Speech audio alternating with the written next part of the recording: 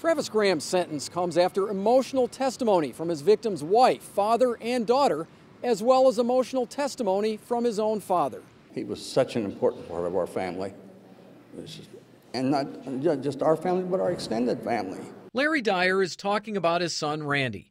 In June of last year, court records show Travis Graham was chasing Brandon Dyer and Jonathan Colt Moore with a shotgun over a property dispute. Randy Dyer hit Graham with his vehicle to protect his son Brandon and his friend.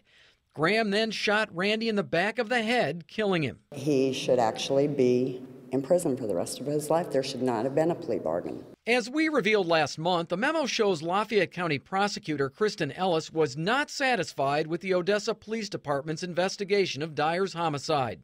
It states an officer failed to conduct follow up interviews with key witnesses who were ready to help.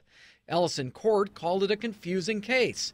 Dyer's family believes the Odessa Police Department's poor investigation contributed to that confusion. They didn't investigate it. They had no control over the evidence. On Monday, a Lafayette County judge gave Graham the maximum sentence of 15 years for voluntary manslaughter, much different than the life in prison he faced on his original charge of second degree murder. I've seen some of the paperwork. They weren't signed, they weren't dated. If Travis Graham completes his entire 15 year sentence, he will be the same age as 52 year old Randy Dyer when he was shot and killed.